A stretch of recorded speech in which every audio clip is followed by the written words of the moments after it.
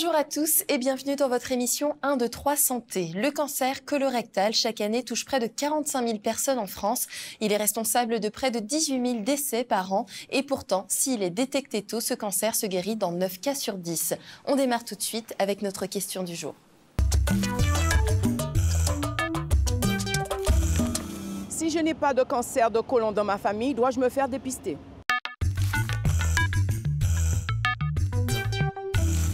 Et pour aborder la question, toujours à mes côtés, le docteur José Perianin. Bonjour docteur. Bonjour Jennifer. Aujourd'hui, nous accueillons le docteur Hérin. Vous êtes gastro-entérologue. Merci d'avoir répondu à notre invitation. C'est un plaisir pour moi parce que c'est une question qui me tient à cœur. Alors, commençons tout de suite et entrons dans le vif du sujet. Première question, docteur, le cancer colorectal. Un peu plus de détails Alors, les cancers du côlon et du rectum, on devrait dire, sont des cancers fréquents développés à partir de la muqueuse interne de ces parties de l'intestin. Au début, ce sont des tumeurs bénignes, les fameux polypes. Bénignes, j'ai dit, parce que si on s'y prend précocement, on les diagnostique précocement, tu l'as déjà dit, on peut guérir dans 9 cas sur 10. Alors, expliquez-nous un petit peu, est-ce fréquent chez nous ce cancer? Hélas, euh, la Guadeloupe ne fait pas exception à l'ensemble du territoire national. Et peut-être même que la croissance, euh, l'augmentation de fréquence risque d'être exponentielle parce que les facteurs qui favorisent le cancer du côlon sont amplement en action en Guadeloupe. Il y a quelques années, 30-40 ans, c'était un cancer exceptionnel et aujourd'hui, il augmente de fréquence de façon alarmante.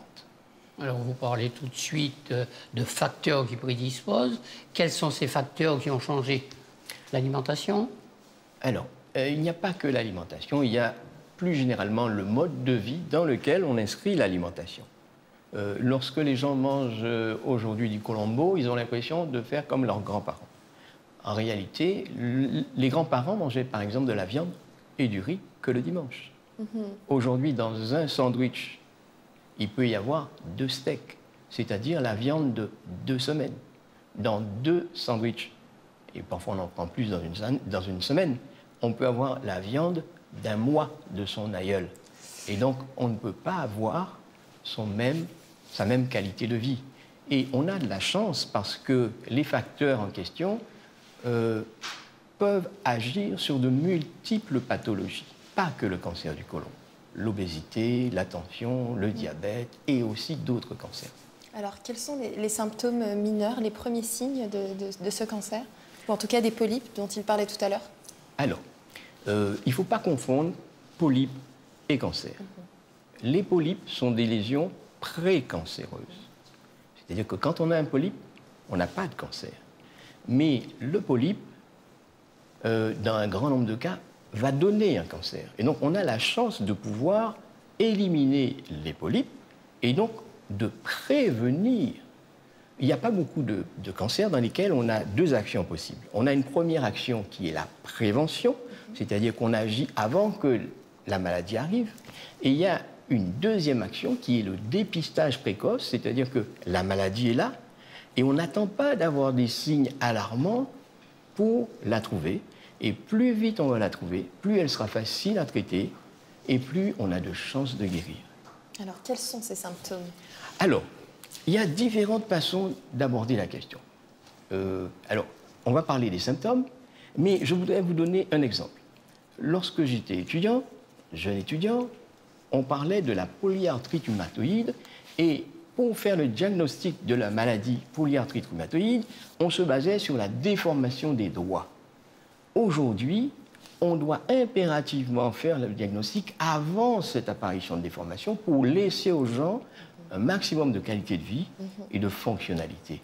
Et donc, je vais vous parler des symptômes, mais j'insiste sur le fait qu'on doit pouvoir faire le diagnostic lorsqu'on fait le diagnostic. Là, on n'est pas dans la prévention ou dans le dépistage le plus tôt possible de façon à avoir un maximum de, chances de guérison.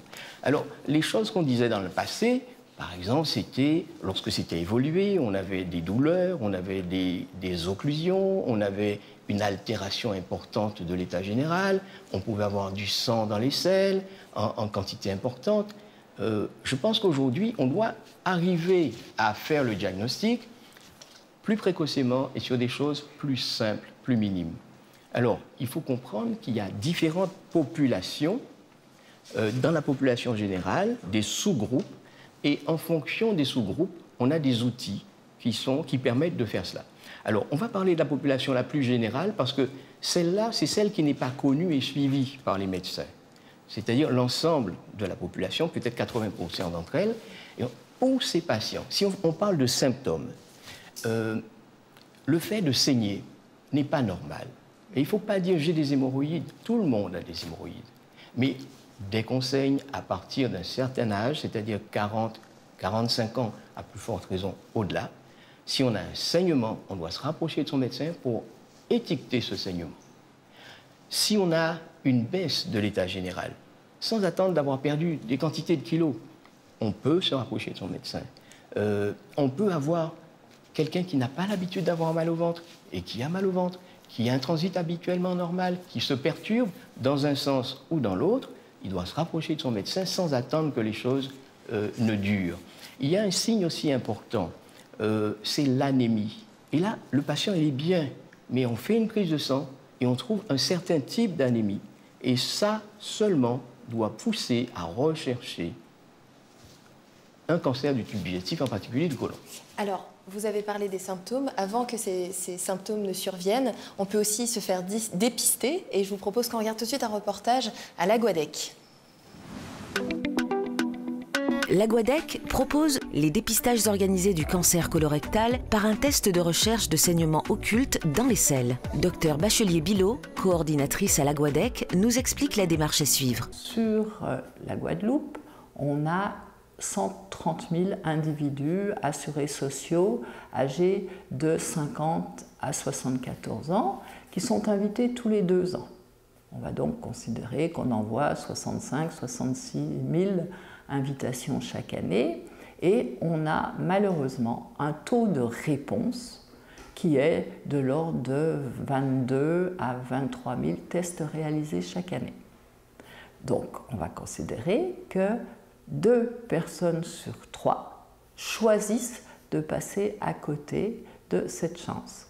Le test recherche enseignement occulte qui, dans les selles, le test se présente sous une forme, un mode d'emploi,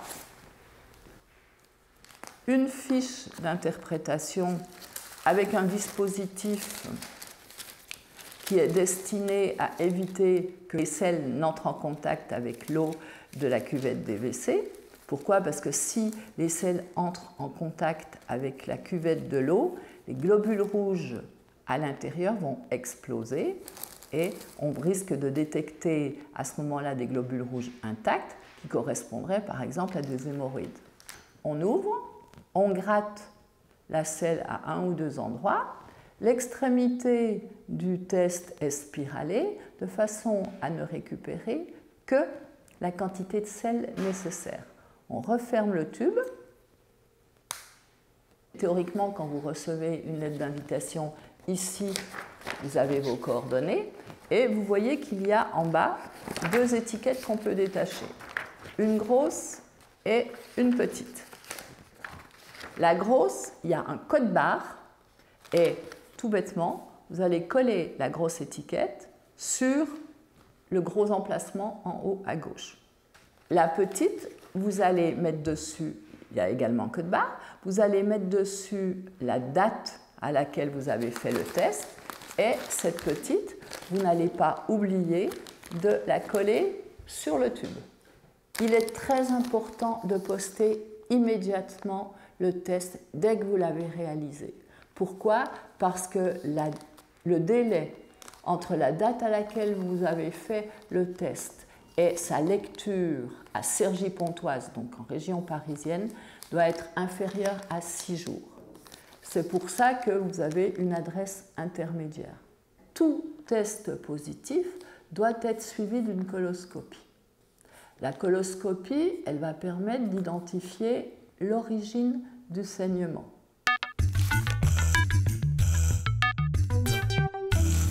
Alors un dépistage systématique en théorie, mais en pratique, est-ce que c'est le cas? Mais en pratique, on est loin du compte. Mm. On est loin du compte parce que euh, il y a deux types de dépistage. Il y a un dépistage ciblé pour des personnes qui ont des antécédents personnels ou familiaux qui les exposent à avoir euh, un risque très élevé de cancer. Ces gens, en général, sont identifiés, suivis par des médecins et, en principe, s'ils sont adhérents, le dépistage est fait. Mais il reste 80% de la population, c'est-à-dire la majorité, qui n'a pas de ce type d'antécédent et qui va être invitée à faire ce dépistage. Et pour espérer réduire la mortalité, il faudrait que 50% de la population participe à ce dépistage. Mmh. Malheureusement, nous n'avons que 30% des gens qui y participent. Et le plus grave, c'est qu'à partir de 65 ans, le risque est légèrement plus important pour l'homme que pour la femme. Mmh. Et sur ces 30%, c'est une majorité de femmes. Donc, le risque, et en fait ce n'est même plus un risque, ça devient une réalité, c'est qu'on trouve des cancers précoces chez les femmes, et des cancers tardifs devant les symptômes dont j'ai parlé tout à l'heure et qu'il faudrait essayer d'éviter chez les hommes. C'est-à-dire que malheureusement, les femmes seront de plus en plus veuves. Et je lance un appel aux femmes pour qu'elles agissent sur les hommes de leur entourage, si elles ne veulent pas rester seules, pour qu'ils participent au dépistage.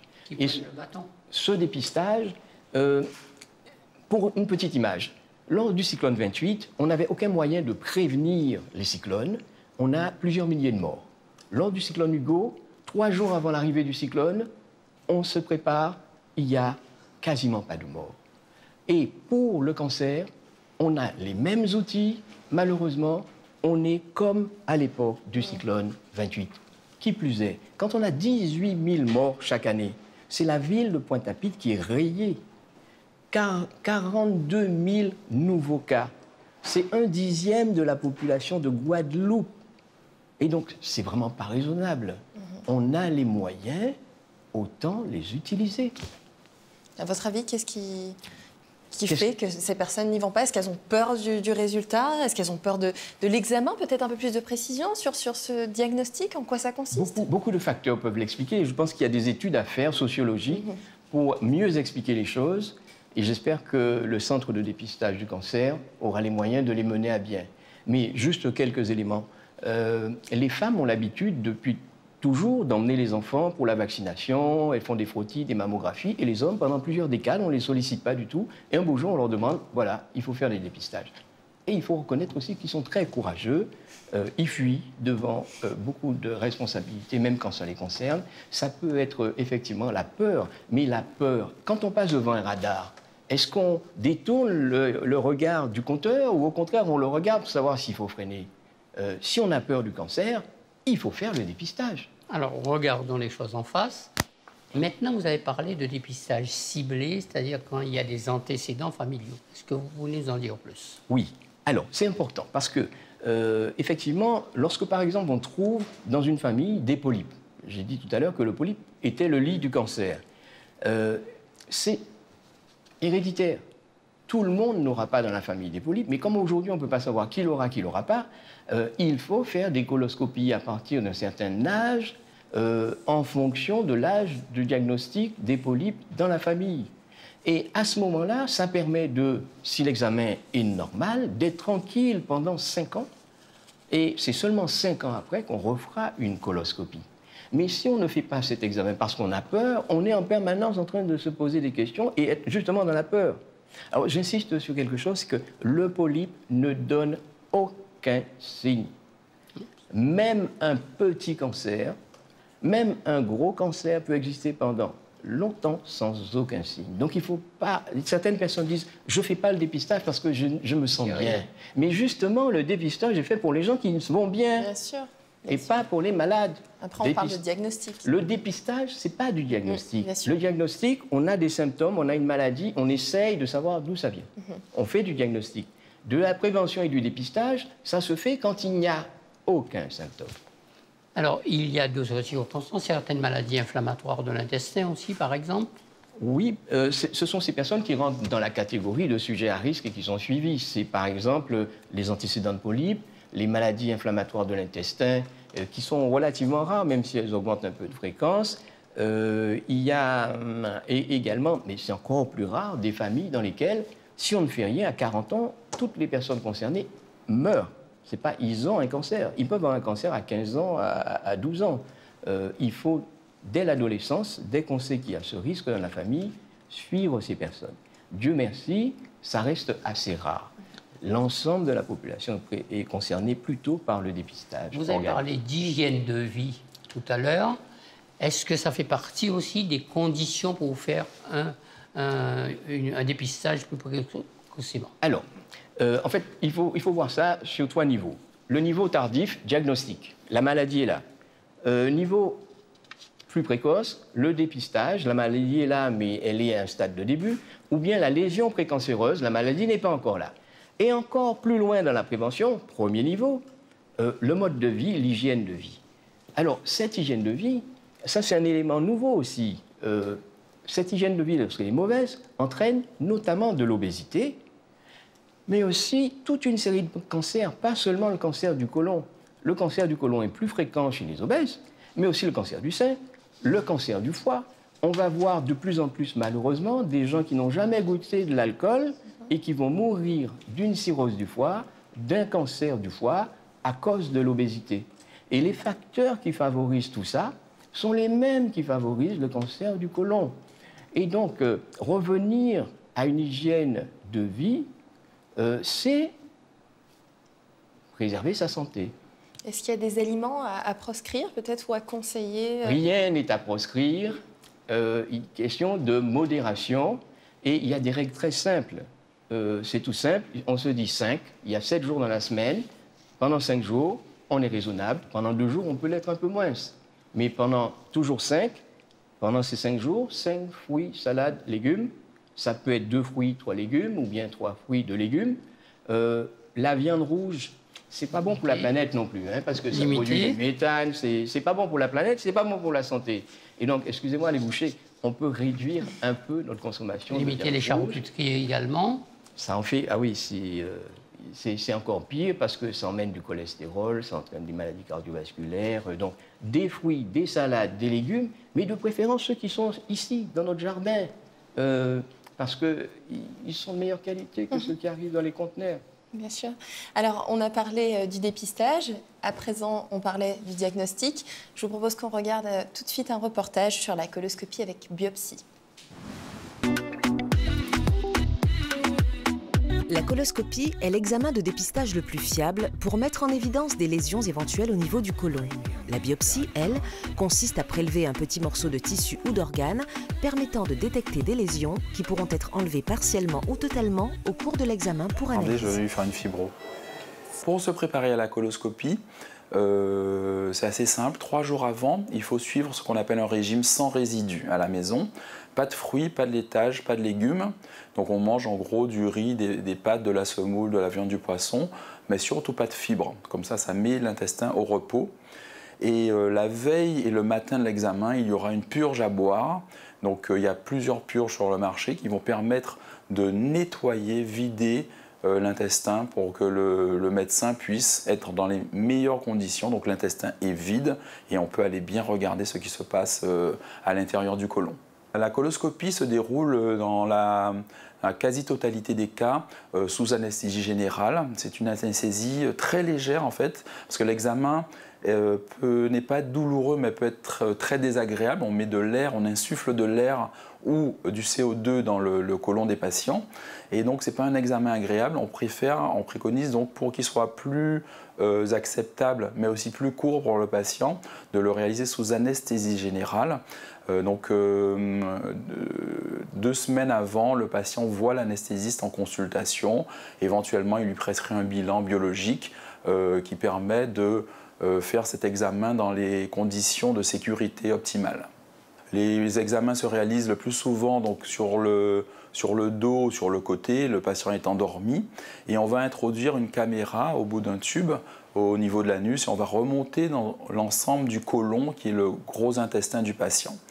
L'examen dure environ euh, une vingtaine, trentaine de minutes en fonction de ce qu'on voit. Donc euh, en Guadeloupe, comme dans tous les départements euh, français, la prévalence du cancer du côlon augmente d'année en année. Grâce au dépistage, en fait, on arrive à détecter des cancers de plus en plus tôt. Donc on peut leur proposer juste une résection endoscopique, c'est-à-dire qu'on peut, grâce à la coloscopie, euh, enlever des polypes qui sont déjà cancéreux et ça s'arrête là. On peut détecter des, cancers qui sont un peu, plus avancés et les proposer juste, juste euh, aux chirurgiens sans avoir recours à la chimiothérapie ou à la radiothérapie. Et enfin, euh, ce qui est le, vraiment le plus important dans la coloscopie, c'est que c'est un examen diagnostique qui permet de avant l'apparition d'un cancer, quand on est au stade polype, d'enlever le polype, comme ça le patient, il est, euh, on va l'analyser bien entendu au, microscope dans un cabinet d'anatomopathologie. Et si ce polype est, euh, bénin, on aura une surveillance à 5 ans. Si le polype commence à se transformer, euh, on aura une, une, surveillance chez le patient à 2-3 ans, donc une surveillance rapprochée. Si on trouve un polype, on propose aux patients donc une coloscopie dans un certain laps de temps, mais surtout d'en informer sa famille. Et donc, on peut prévenir pas mal de, cancers du côlon grâce à cette technique. Docteur, il a dit qu'il les On a fait la, la colon, on va faire la d'accord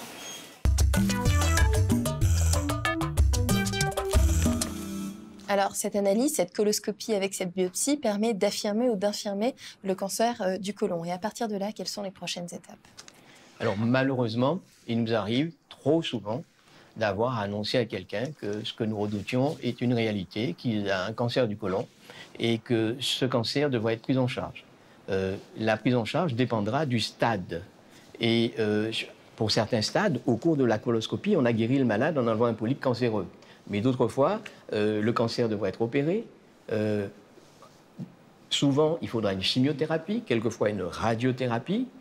avec, avec ces, éléments-là, euh, un certain nombre de personnes guériront. Malheureusement, d'autres ne vont pas guérir.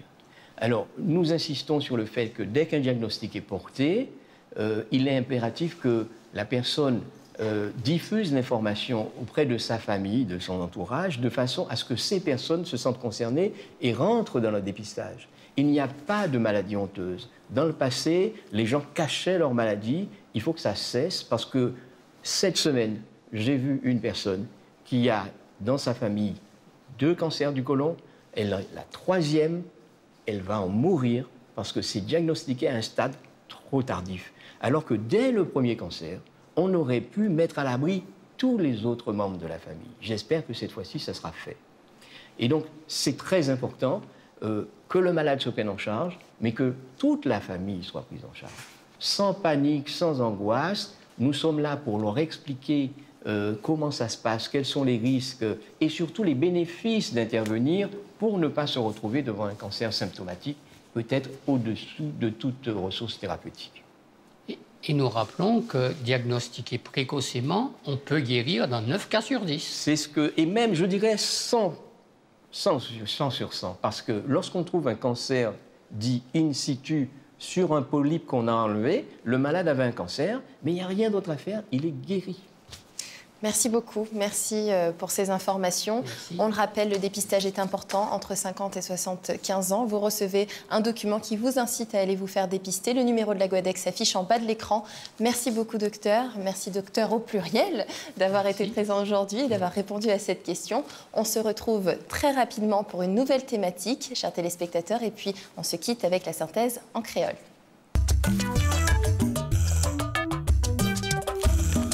Messieurs, bien bonjour. Côté Pouton. À dans la première mission, nous voyons qui gens pour dépister cancer à colon. Et avec docteur Gabriel Hérin, gastro-entérologue, nous apprenons que plus on dépister maladie la bonnet, plus on a chance de guérir plus vite.